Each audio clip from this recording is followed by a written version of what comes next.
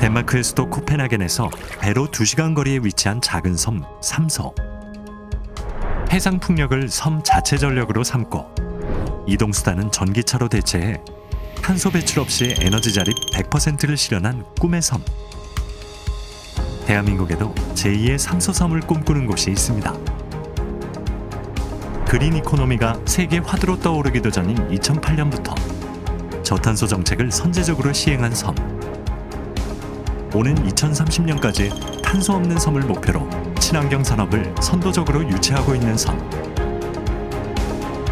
바로 제주도입니다.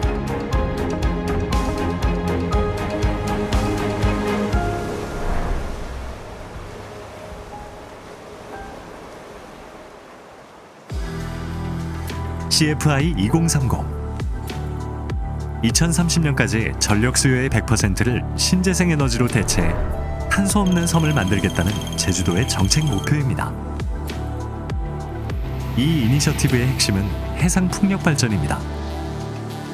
예부터 바람이 많기로 유명한 제주는 독일, 미국, 덴마크 등 해외 유명 풍력 단지가 위치한 곳보다 평균 풍속이 높아 해상 풍력 발전의 최적지로 꼽힙니다.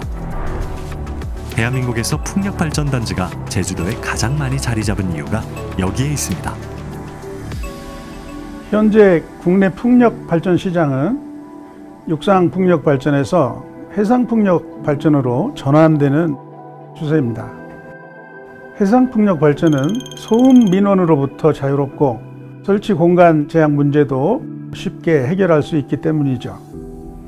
특히 제주도는 얕은 수심과 평탄한 부지의 바다로 사면이 둘러싸여 있기 때문에 떠오르는 해상 풍력 발전 산업의 중심지가 될 것으로 기대하고 있습니다.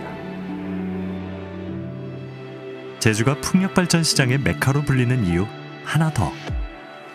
풍력단지 개발과 관련한 제주의 모든 사업은 도청사나 제주에너지공사가 주관합니다. 제주에너지공사는 부지 선정과 주민 합의, 사전 인허가 등 사업 전의 번거로운 절차를 미리 해결해 줍니다. 기업은 사업에만 집중하면 되죠.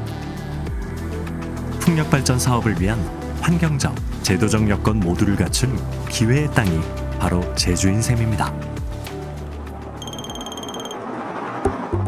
제주 CFI 2030 비전의 또 다른 축은 전기차 시장입니다. 제주는 대한민국에서 가장 많은 전기차가 운행되고 있는 지역입니다. 제주도는 이 숫자를 더 늘려 2030년까지 도내 등록 차량의 75%를 전기차로 대체한다는 목표를 갖고 있습니다. 현재 대한민국 전기차 시장의 초점은 보급에 있습니다. 이미 5, 6년 전부터 전기차 도입을 선도적으로 진행한 제주는 이제 친환경차 보급을 넘어 전기차 산업 중심지로의 도약을 준비하고 있습니다. 지난 2019년 제주는 전기차 충전 서비스 규제 자유 특구로 지정됐습니다.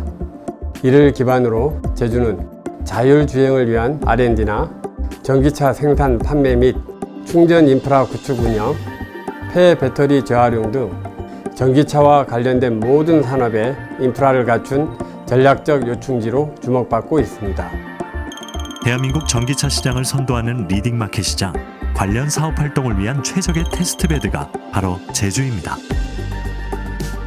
기후 변화 등 환경 문제에서 기회를 발견하고 이를 통해 친환경과 비즈니스를 결합하려는 시도를 우리는 기후 기업가 정신이라고 부릅니다. 대한민국의 기후 기업가들이 자신의 아이디어를 마음껏 실험할 수 있는 공간. 자신의 사업 모델을 가장 쉽게 구현하고 사업 혁신을 가장 먼저 현실화시킬 수 있는 최적의 섬.